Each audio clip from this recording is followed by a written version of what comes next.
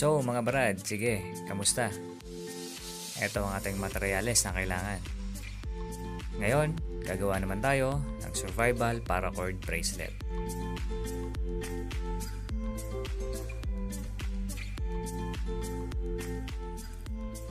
Para doon sa mga hindi pa nakapanood kung paano gawin ang ating basic paracord na Cobra design, maaari lamang po pakicheck lang yung ating videos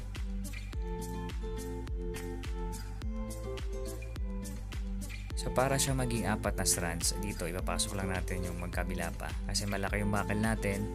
So pwede nating dagdagan ng dalawang strands pa or 4 para maging 6. So sa bakal na to ay uh, tinatawag namin flat survival.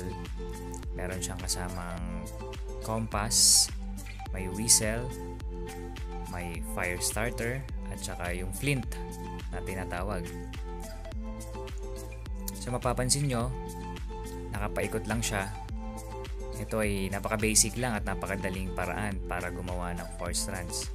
Meron naman tayong iba't iba pang uh, pwedeng gawin or pwedeng way ng paggawa ng 4 strands or 6 strands. So sa mga may naisip o may idea kung paano gawin, pwede din kayo mag-share uh, ng inyong ideas para din uh, magawa din ng iba. So bali dito, yung isa na lang, yung sa left side.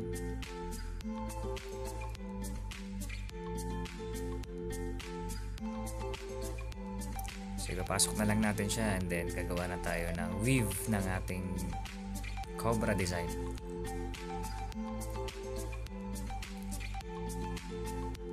So ipitan lang natin konti, adjust na lang natin. Okay, sa puntong ito, Ganito ang magiging itsura ng ating 4 strand sa paracord.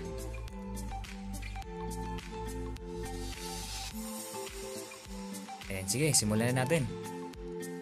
So, nakasanayan natin palagi. Doon tayo sa left side magsisimula. Pagkatapos sa kanan.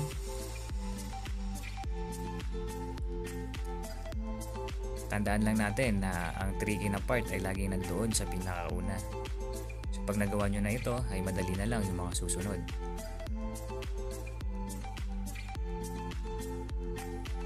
Ngayon, tsaka na naman.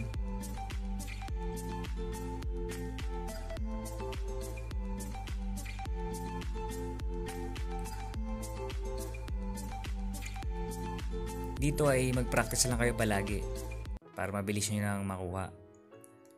So pwede rin nyo ring uh, i-pause and play para mas masundan ninyo kung paano siya ginawa eh sa gagawa na lang tayo dito ng mga ilan pa. Tapos, yung nakasanayan natin, fast uh, forward na lang natin at magkita-kita tayo doon sa pinakadulo bago natin isara ang ating bracelet. So, sige, sa dulo tayo. Tara! So, sa puntong ito, mga brad, nandito na tayo sa dulo. Gagawa na lang ulit tayo ng isa pa bago natin isara.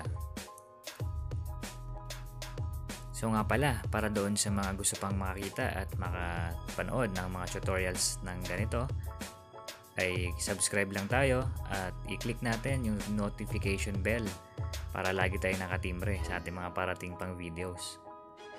So gaya na nakagawi ang lock natin, pagtatabihin natin sila, balibalik rin na lang natin yung ating bracelet. And then sa dulo na part, yun yung ating hilain at doon natin siya ipapasok. So sa putong ito, magkatabi na sila. Teka lang, focus. Focus muna. Ayun, sige. Cut na lang natin ang bahagya. Okay, sige. Ngayon, pwede natin itong sindihan. Na konti lang and then hindi na natin. Okay. So, ngayon sa puntong ito, ito na ang ating survival paracord bracelet. King size cobra. So sige, maraming salamat hanggang sa muli nating pagkikita.